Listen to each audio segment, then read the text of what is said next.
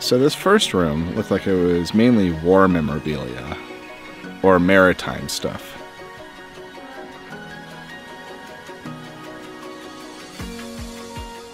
I always check compasses because about half the time, it seems, they're doped with radium. These ones don't appear to be, but sometimes the numbers and the sighting posts are doped with radium to help them be more visible at night.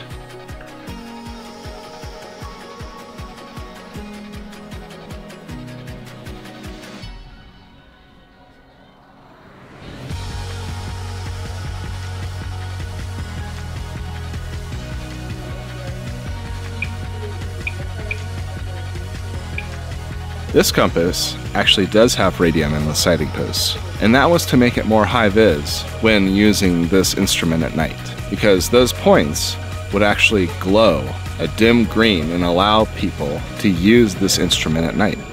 And since radium is pretty radioactive, just the tiniest little bit will show up quite easily. Those two dots. That's where the radium is, and then the front sight post too.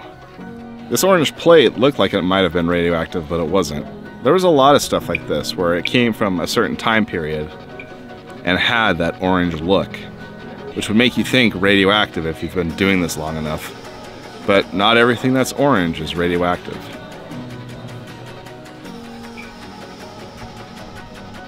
This craft, though, turned out to be radioactive. You just never know until you check.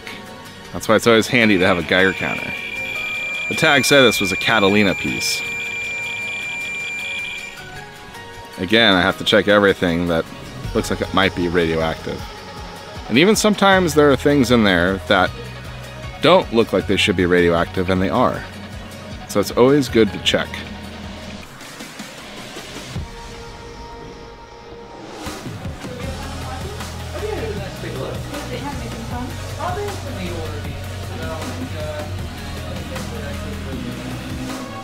Yeah, there's always a couple of duds in an antique shop where you think it might be radioactive, but it isn't.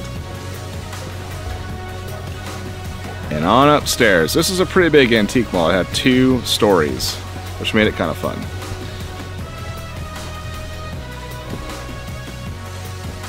So in this other room, I spotted a Bauer teapot. These teapots are kind of rare. I don't find too many of them and they're actually fairly radioactive. This one was giving me about 15,000 counts per minute. Normal background is about 35 counts per minute. So it's quite a bit more radioactive than just background radiation.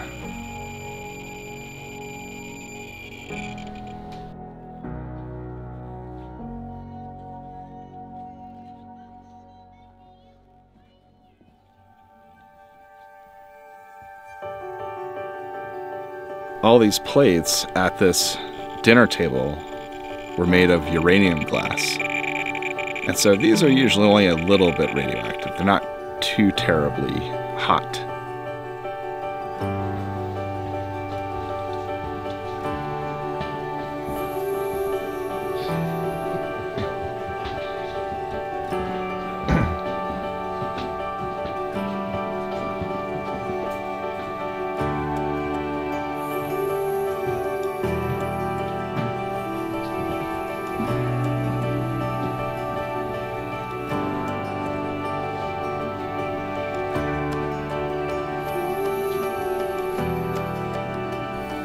Here's another craft, and this one also said that it was a Catalina pottery. And as you can see, it's much more radioactive than that other teapot was. It's in the 40,000s instead of the 15,000 counts per minute.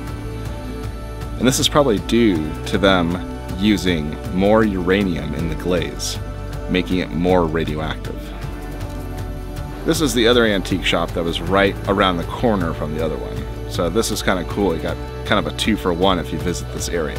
I kind of like the layout of this one a little bit better. I like it when it's a little bit more jam-packed full of stuff and you can kind of see everything instead of it being more staged like the other one is. So this is more my this is more my style of antique shop than the other one. This one was a pretty cool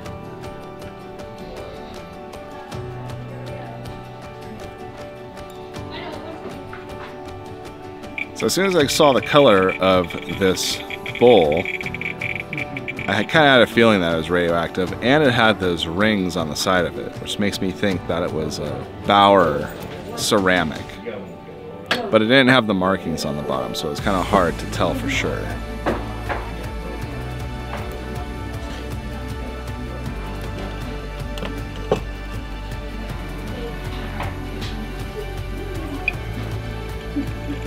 Was decently radioactive at 25,000 counts per minute. Always try to put stuff back very carefully.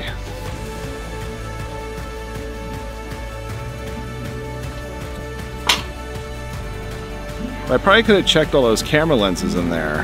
I'm sure I would have found some that have thorium in the glass, making them radioactive. But I didn't feel like having someone go and open that case up just to check.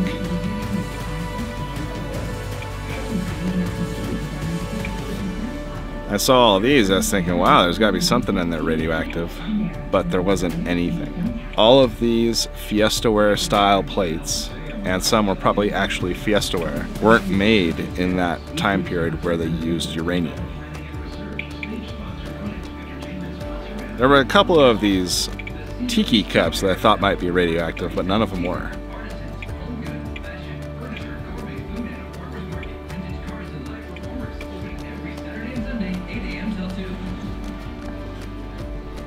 And another pile of Fiestaware. But this time, I actually did find something that was radioactive. There was a couple plates in these stacks that were radioactive. And you would only really know if you had a Geiger counter.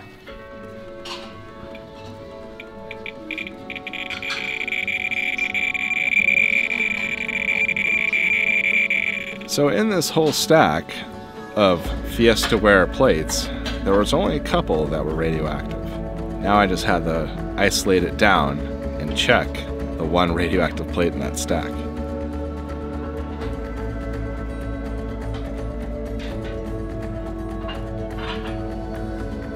I'm not really talking in this video because there's a lot of music playing in this antique mall, which makes it hard to talk over.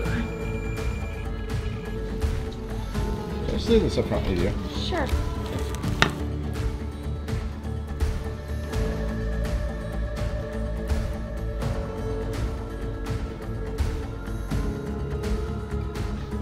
Sometimes I find little radioactive cups like this. I'm not sure what exactly these are used for. Maybe for cream. If, uh, one of them there looks like it's for cream. And these were different colors, not the normal orange that you would think of as being radioactive. These were more of a pink or peach color. And they looked like they were both Bauer, both the plate and that boat. But I didn't pull that boat out and check it more detailed like I did this plate.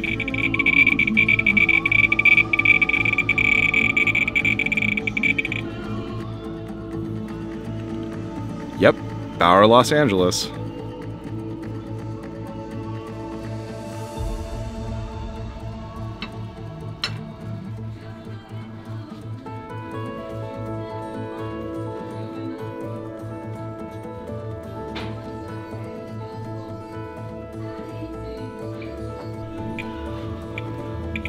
Kind of a cool uranium glass pitcher.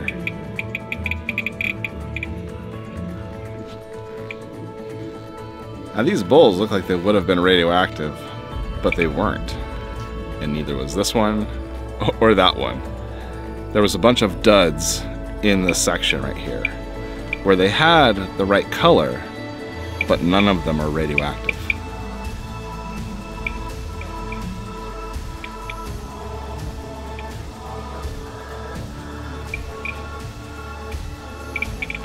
These plates were given a pretty good read. And I can tell that some of these were Pacific pottery plates because of the rings on the top of them. This one's a California pottery. These ones are pretty cool too, but it wasn't really what I was looking for.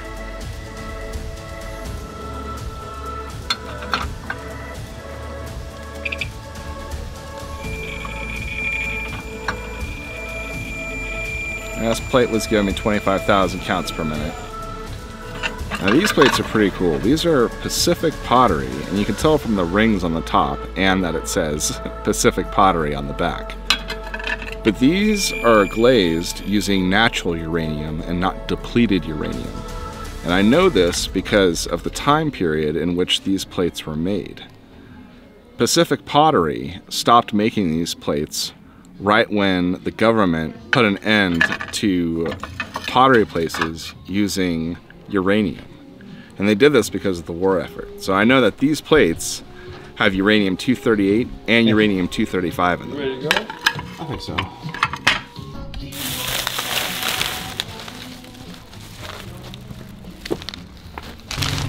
All right, so that was a look at some of the Palm Springs antique stores. There's the Antiques Gallery and then the Antiques Mall was I just came from. Both really cool places. Some really cool pieces. Glad I got what I got. Well, that's gonna do it for the Palm Springs area for antique malls for right now. I know there's tons of other antique malls around here that I haven't uh, explored yet and maybe someday I will, but uh, right now I have other stuff I have to do. So I hope you enjoy this video. See you next time.